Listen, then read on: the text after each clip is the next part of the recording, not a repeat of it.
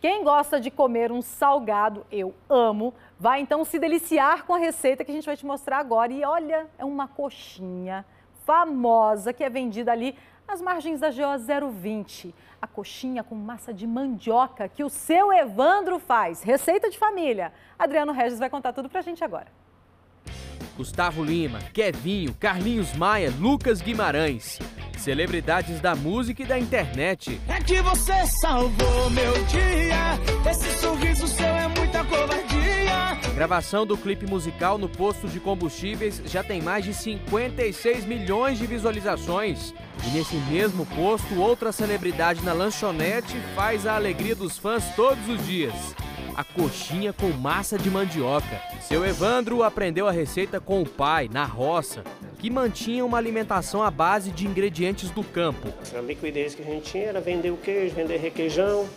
Então a gente comprava um mínimo de produtos na cidade. E meu pai um dia foi reclamar para minha esposa que ele tinha sofrido muito, que na época ele a mãe dele só dava essas coisas para ele comer. E ela falou: "Não, você teve sorte" né? De, de, de, por isso que o senhor é saudável desse jeito.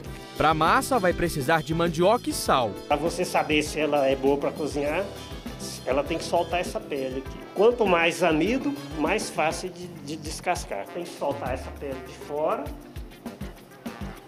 e essa aqui. Cada cor da camisa não, você mas nós estamos até azul de fome esperando essa coxinha. Nossa, propaganda é boa, vai sair, né? Depois de cozida, tire as fibras da raiz, aí é só moer, adicionar sal e amassar. Para o recheio, filé de peito de frango, pernil suíno, tomate, alho, sal, cebola e requeijão cremoso.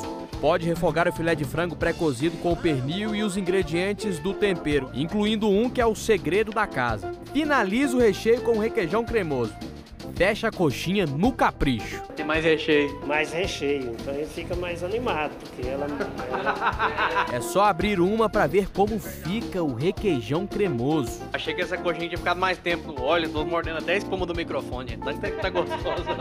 o sabor da massa, do recheio, tudo junto, né? Não fica aquele... A massa não é forte, gosto tudo junto, tanto da massa quanto quanto do, do recheio. Por trás de grandes receitas há sempre grandes histórias, né? O grande diferencial realmente está no tempero. Ela nunca se refere a mim falando Evandro.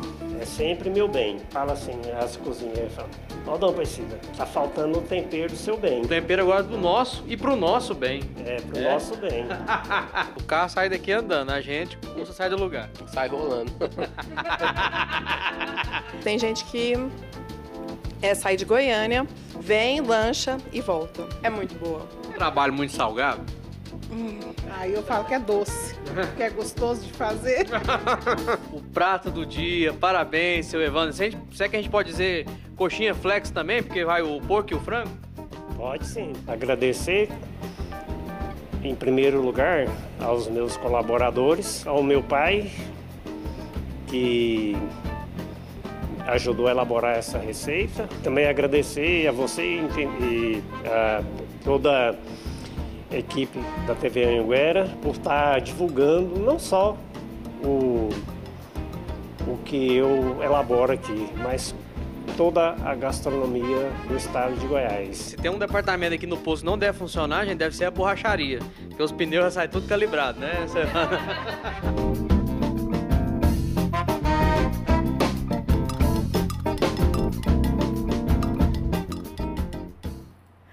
Eu chamo isso de tortura, viu, seu Evandro? Tá com água na boca também? Tá todo mundo aqui passando mal, ó. Anote aí o endereço da coxinha de mandioca. A lanchonete do seu Evandro fica no posto Sobrado, na GO 020, quilômetro 27, entre Goiânia e Bela Vista.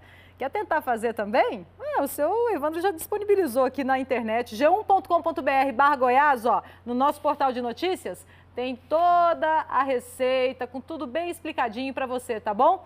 Se você arriscar e acertar assim como ele, ó, vai fazer sucesso também.